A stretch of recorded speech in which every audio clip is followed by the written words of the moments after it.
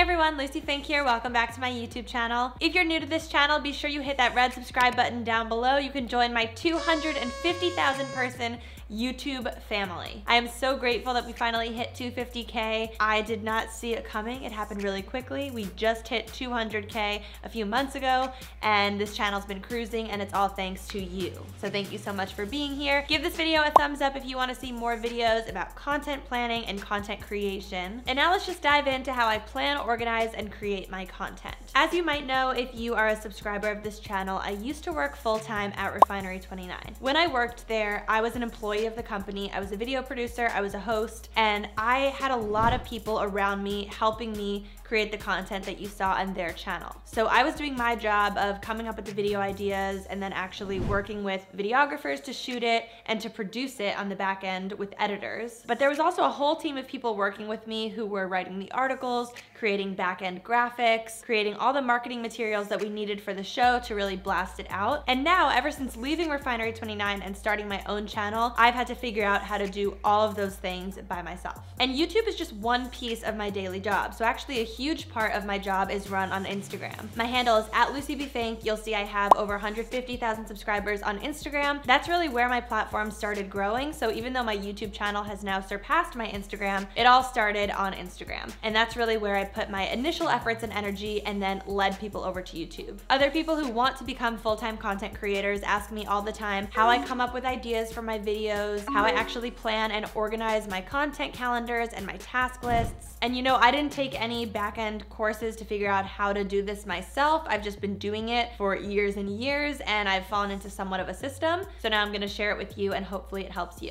I do have planners and some notebooks and I do like to write things down by hand just to stay organized and see things written in front of me. But I will say I'm pretty much a digital planner when it comes to keeping on track and making sure that all of my work tasks are accomplished. So today I'm gonna focus on how I do this all digitally. When it comes to my personal brand, a lot of things are happening happening at once. There are a lot of moving parts. I have YouTube videos, Instagram posts, a newsletter, I do brand partnerships and collaborations, capsule collections, I'm on Pinterest, TikTok, all the good things in all the good places. And I use Asana as my back-end planning tool for all of these projects. Today's video is not sponsored by Asana, although having Asana be a sponsor of mine would sort of be a dream. So if anyone from Asana is listening, hook me up. I would love to do another full video kind of walking you through everything I do on the back end of Asana, but I'm gonna keep it kind of vague for now in case people don't know what Asana is or don't use it. This video is not specifically about that tool, it's just about how I keep things organized. So in the back end of that platform, I have a whole bunch of projects. And inside each of those projects, there's either a board or a list or a calendar based on whatever makes sense. When it comes to Instagram, it makes most sense for me to view it as a calendar,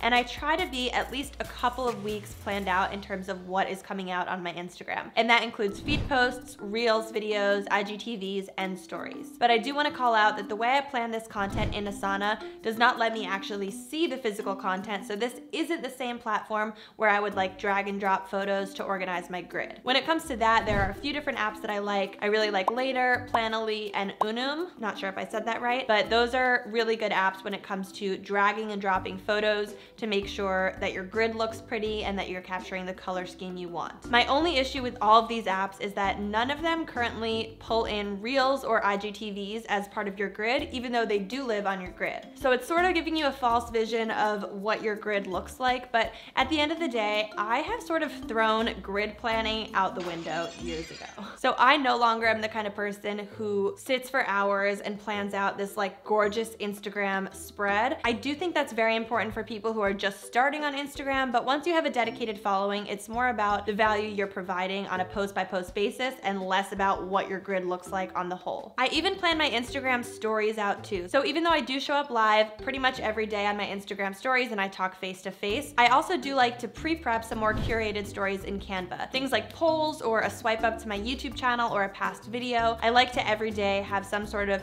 professional looking Instagram story go live that drives my audience elsewhere and has a clear call to action. If you are the type of person who is sitting here thinking Instagram is my key platform and I really, really, really, really, really, really, really, really, really, really, really want to learn how to grow on Instagram in 2021 and how to build a dedicated audience on that platform, I've got you covered. I built an entire Instagram branding course. It's called From Invisible to Unstoppable. I created it with my friend Marjolaine who lives in Germany. And the reason I wanted to work with her on this course is because the two of us have very, very different Instagram following levels. As you can see, I have over 150K. She has over 3K followers. But despite the difference in our following level, we are both using Instagram pretty much full time to run our businesses. And I think it's very important for people who are just stuck looking at metrics and trying to grow their following that it's really not all about that number when it comes to Instagram, but it's more about what value you're providing and how you're connecting and engaging with your audience. So we built an entire course about how to build a dedicated brand on Instagram. We actually just added a bonus module all about Reels because Instagram Reels is all the rage right now. So if anyone's watching this video and it's between November 30th and December 4th,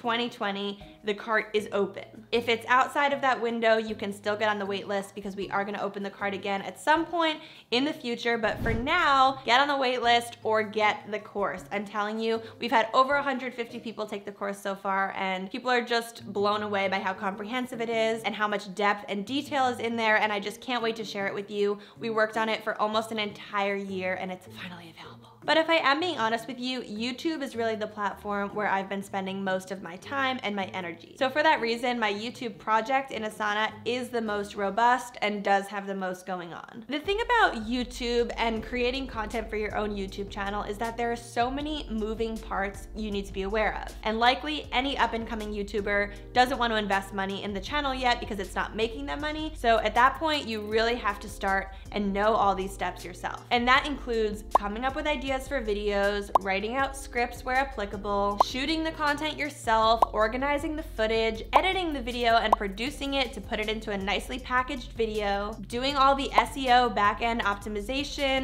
tags, description box, thumbnail, uploading the video, and then actually engaging with the community once it's live. So there's a lot that goes into even one video, let alone people that upload a video a week or sometimes two to three videos a week. So the first thing that's really important for me when it comes to YouTube, because there are so many moving parts for each video is to make sure that I am sort of planned out in advance. You might know I have a video that goes live on my channel every single Friday, and although there have been some Fridays where I've skipped that post deadline, I really try my best to upload every Friday at around the same time. Showing up consistently is key when it comes to building a brand on Instagram and getting people to come back to your channel, so I do work really hard to have those Friday videos week after week. The major way that I get ahead of the game with my YouTube content is to always have a list of videos that I'm working on, to know exactly when they're going live, and to make sure that at any given time, I'm about two to three weeks out in terms of having content locked and loaded and ready to go live. The worst feeling for a YouTuber is when it's Thursday and you have a video going up on Friday, but it's not finished being edited yet, or God forbid, shot. I like to be weeks and weeks ahead so that I am never running against that clock and I never feel like I'm gonna miss a posting deadline. And this becomes very important when you're working with brands and you have partners and collaborations collaborations and actual paid projects on the line, you cannot afford to miss deadlines. Some of these deadlines are tied to product launches or specific discount codes that are only valid for certain windows, so you really do need to be prepared and organized and making sure your videos are going up on time. So step one when it comes to organizing a YouTube video would be the ideation phase. This is where I come up with the idea for the video. Sometimes I've had an idea that just popped into my head. Sometimes I saw another content creator that made a video and I wanted to make my own version of that. But most of the time time, I'm pulling my ideas from you, YouTube commenters. So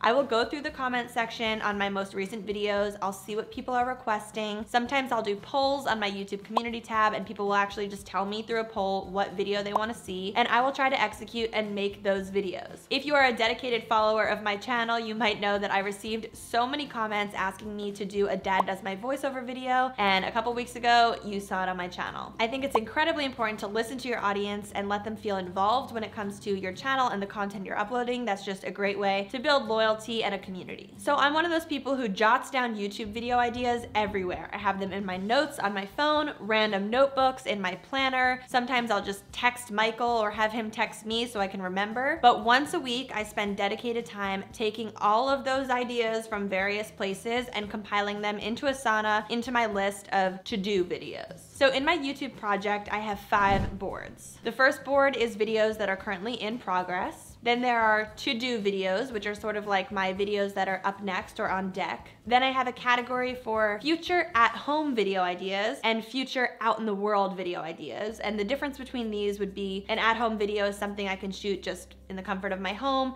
almost like a vlog style video. And out and about in the world videos are videos that require me to go to a local business or to hire an external shooter and shoot something on the streets. Because of the pandemic, I haven't shot many of those out in the world videos, although as soon as the pandemic is over, I'm hoping to do a lot more of those. And then the fifth board is uploaded and finished videos. So as soon as a video is done, I'll mark the task complete and drag it onto that fifth board. So as I mentioned, whenever I have a new idea for a video, I'll pop it on the appropriate appropriate board. And then when it comes to actually working on each video as a project, there are a whole handful of subtasks that I need to do for each and every video. And because I need to do these subtasks for each and every video, the easiest thing for me to do is just to create a sample project and I just duplicate that so that every time I'm starting a new video, it already has those subtasks imported. And those subtasks include all the things I would need to do to get that video from the shooting phase to the upload phase. So first I need to actually shoot the video, which includes setting up my camera, my microphone,